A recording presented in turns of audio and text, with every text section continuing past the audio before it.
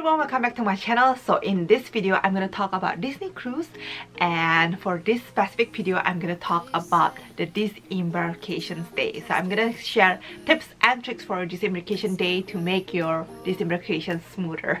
So if you're new to my channel my name is angie. I make tons of tons of disney cruise video and i share about tips and hacks and my journey and my experience uh, with Disney Wonder going to Alaska so make sure you check them out. And more videos are coming up because I have tons of tips and tricks to share.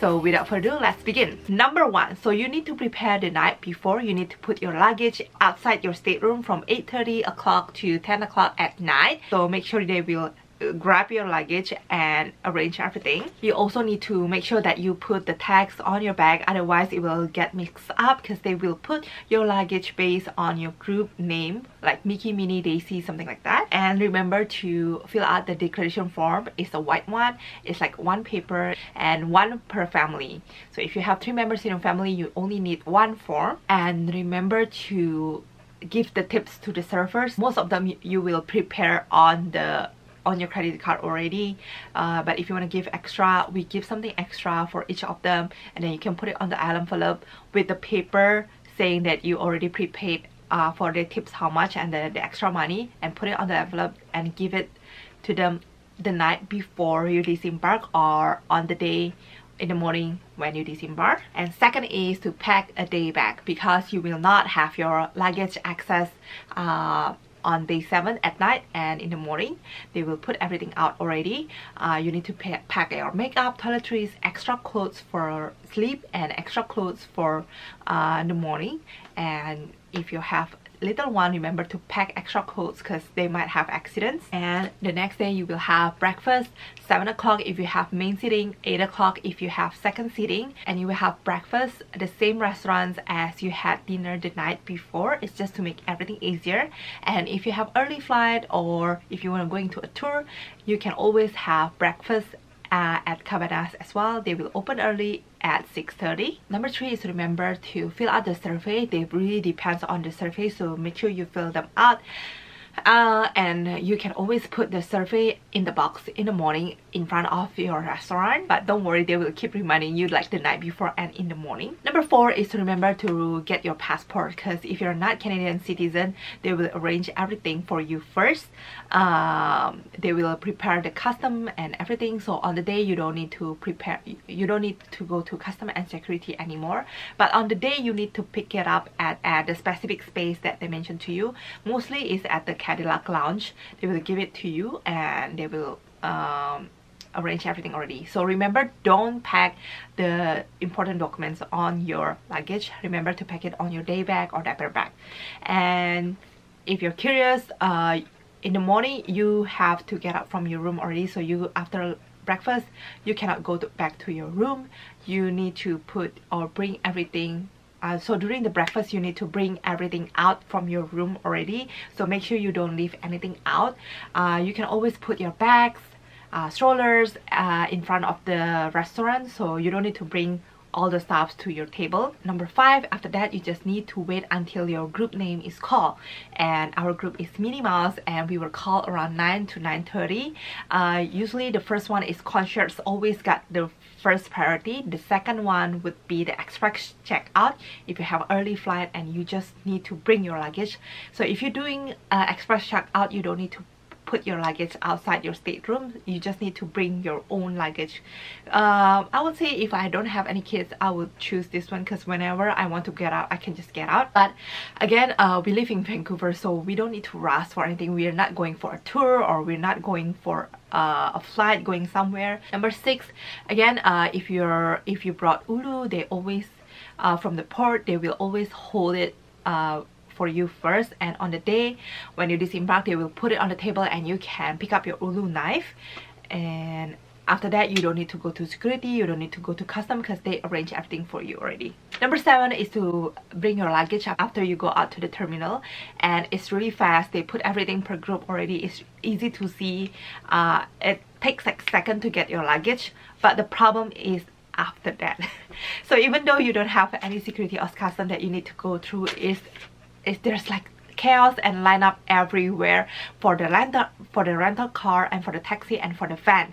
So i talked a little bit on my previous vlog which is day 8 so you can watch that one a little bit as well but i'm gonna explain more in this video. So i would say that after you got out from the mickey ship everything like all the magic is gone. Like everything is so hectic everything is so chaos the ambience is just so different. And the environment and the ambience is just so different from the first day as well when you embark. I know i think most of the staff are the same but their service is so different. Everybody is like in the bad mood. I don't know why. I guess everybody is so busy because every so many people disembark at once. And um, we even line up for the rental car. We didn't know that it's a lineup for the rental car before because there's just huge lineup everywhere. We asked the staff, they said, we asked whether it's a lineup for taxi and she said yes. So we spent like half an hour waiting there and turned out it's a wrong one. We went down with the elevator, we went up with the elevator again and just go through the car is so hard. And then finally we find the lineup for the taxi and another chaos is begin there's nobody there. It's so hard to ask questions. And the van and taxi line is different but to go to the van line you need to go to the uh, beginning of taxi line and everybody's just stuck there. So if you want to go to van which we are planning to take a van it's really hard to go there. And yeah and the van line moves so slow as well. And finally there's someone there and we, we asked whether this is the line for the van. She said sarcastically that like good luck.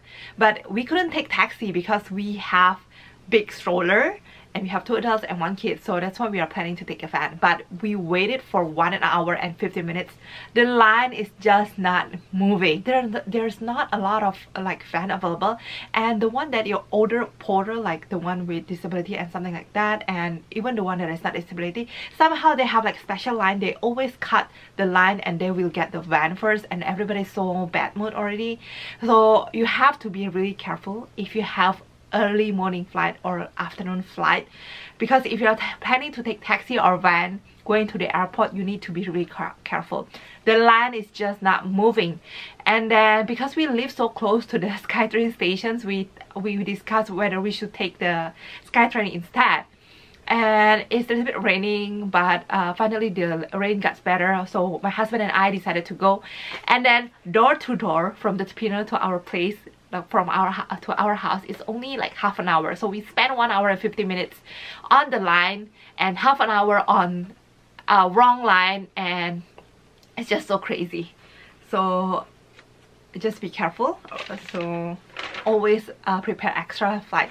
So even though you're out at 9 9 30 even though you have early breakfast in the morning uh, the line for the public transport is the problem. Uh, finally, I got home around 12.30. So can you imagine we had breakfast early in the morning, we have to wait and because of the line and da da da da and we got home at 12.30. So don't book like 12, 11 o'clock flight uh, thinking that you can make it. I don't think you can make it. Just book a later afternoon or evening flight if you can. So it's not the problem at the terminal only because I remember when I got back from Jamaica and Montreal at the Vancouver airport. The line is just so long and it took so long as well. I read about this already on the Facebook group because they said the line for taxi will be like so long. But the problem is it's a little bit raining and we're just so tired. We don't want to ruin the Disney magic. But apparently the line for the taxi is just ruining the magic uh, the magic of the Disney cruise. So be careful of that I don't want to ruin your Disney cruise experience but I just want you to be prepared uh, that you need to face that one later on. And remember if you have like a tour or if you have like early flight if you don't have any choice just request to go outside from the ships earlier. Just request for like a different tag like I think it's a two, Pluto one so you can go out from the ships after the concierge level. And then after that uh, reality hits you need to prepare for work for the next day you need to prepare for school for the next day. And then last but not least about one to three days uh, we feel a little bit moving. So even though I don't get seasick and my whole family doesn't get seasick uh, don't get seasick on the cruise but afterward we feel like a little bit like dizzy a little bit so be prepared of that as well. It's not bad but you just feel a little bit of something. So i hope these tips useful for you to prepare your disembarkations and also watch my video about the process of the embarkation day. Tips and tricks on your embarkation day. What to pack on your embark embarkation day bag. And if you're taking SkyTrain from uh, if you're taking SkyTrain going to the terminal how to and whether it's workable. So stay tuned and thanks for watching guys. Bye.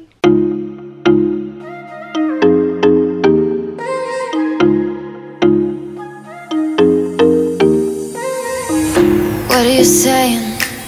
Not the time or the place, baby, it's not right. It's not right, no. Going insane